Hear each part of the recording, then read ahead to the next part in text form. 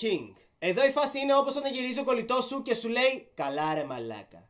Αυτή βρήκες. Αυτή! Αυτή ούτε το μουστάκι της δεν βγάζει. Και είσαι εσύ ρε στον κόσμο σου. Εντάξει ρε μαλάκες, δεν είναι και κανένα μοντέλο, αλλά εμένα μου αρέσει. Και κάνει και τέλεια τσιμπούκ! Μετά τον θάνατο του William Wallace εδώ πέρα, ο Ρόμπερτ Μπρούς, βασιλιάς των Σκοτσέζων, αποφασίζει να κάνει πόλεμο στους Άγγλους γιατί τους έχουν πολύ στην εκμετάλλευση. Πιο πολύ και από ότι ο Λουκ τον συθρυπιό. Εγώ πάντως θα τους έκανα πόλεμο για τα κουρέματά τους. Εν τω μεταξύ είναι πολύ κοντά στα πραγματικά ιστορικά γεγονότα και όχι μόνο. Οι παραδόσεις που παίζουν μέσα της, οι στολές, τα όπλα, οι τακτικές πολέμου, Όλα είναι πάρα πολύ κοντά σε εκείνη την εποχή. Τώρα που είπα εποχή, τι φάση με την πάρτι σου ρε Chris Pine; Είναι λες και παίζεις σε μια τεράστια ταινία τύπου Back to the Future. Έχεις κάνει μεσαίωνα, πρώτο παγκόσμιο, σήμερα και μακρινό μέλλον.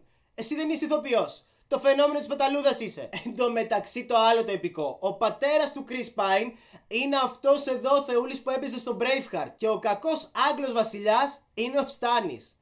Τι φτιάξατε εδώ ρε κερατάδες; Επίσης η σκηνή της μάχης εδώ πέρα ήταν τόσο επική όσο και εκείνη των μπάσταρδων στο Game of Thrones. Έχει μία πλανάρα μέσα που με το που την είδα μετά πήγα για εξομολόγηση ρε. Και κάτι άλλο και απευθύνομαι σε αυτούς που έχουν θεοποιήσει το Game of Thrones.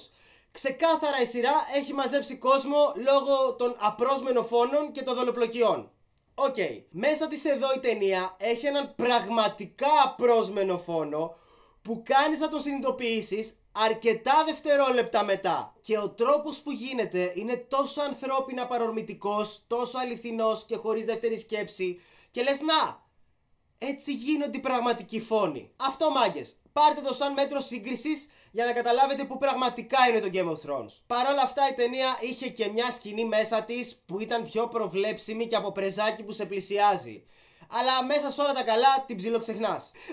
Επίσης, υπήρχε ένας τυπάς από τη μεριά των Σκοτσέζων, το δεξί χέρι, παιδί μου, του Chris Pine, ο οποίος όποτε έσφαζε κάποιον Άγγλο, φώναζε το επίθετό του για να ξέρουμε, παιδί μου, ποιος τους φάζει για να κάνει τόρο. Φαντάσου να ήταν Έλληνας.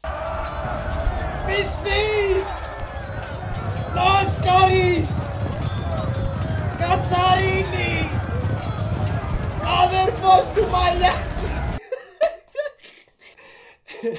Και μιλάω εγώ ρε μαλάκα Που στο επίθετο με λένε ψωμά.